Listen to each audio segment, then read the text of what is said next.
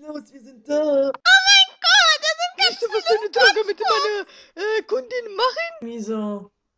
Drogen sollen doch doof machen, also guck ihn dir doch mal an. Ja. Besorg mir anständige Drogen. Nee.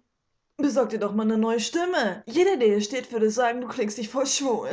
Sag die Hunde dann ruhig. Mhm. Und dein anderer Kollege soll die Fresse halten und sich nicht räuspern.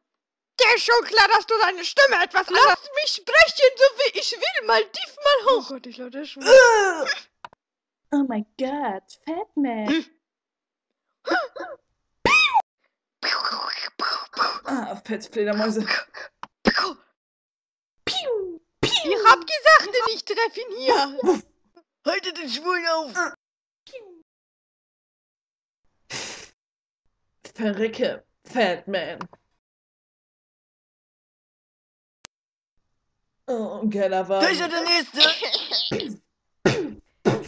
Ey, Brustler, steig aus! Ich hoffe, es ist nicht Hulk.